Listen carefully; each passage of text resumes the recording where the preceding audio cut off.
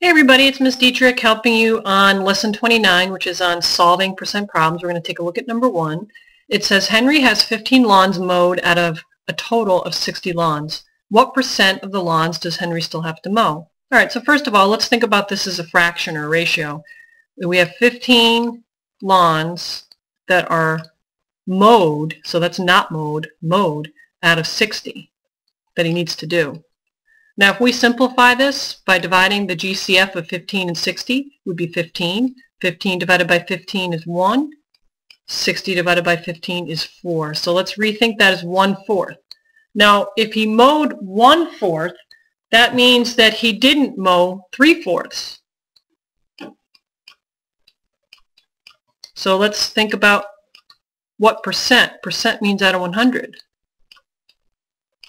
Now, 4 happens to be compatible with 100, 4 times 25. So we'll do the 3 times 25 to get the numerator. 3 times 25 is 75. And since they want it as a percent, we can easily convert anything that happens to have a denominator of 100 right directly into a percent, so that would be equal to 75%. Now, another way you could have done this is you could have taken the, uh, the 1 fourth that we had here, so let's just take a look at that method.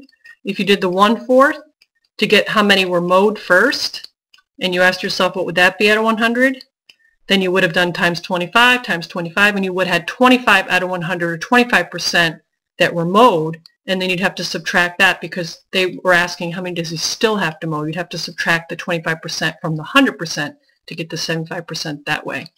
All right, hope you found this helpful.